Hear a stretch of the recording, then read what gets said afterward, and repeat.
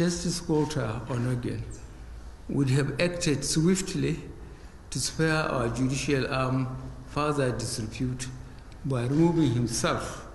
from superintending over it while his trial lasted.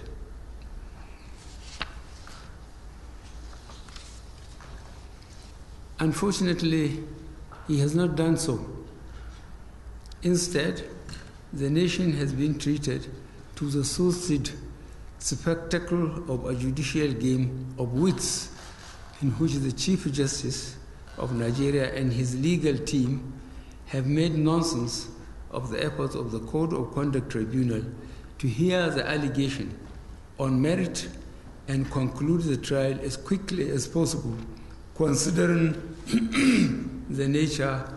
of the times in which we live. Accordingly, I hereby suspend the Honorable Justice Walter Nkanu Samuel Onnoghen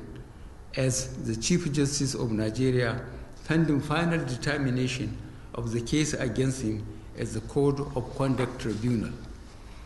In further compliance with the same order of the Code of Conduct Tribunal, I hereby invite Honorable Justice Ibrahim Tanko Mohammed, be,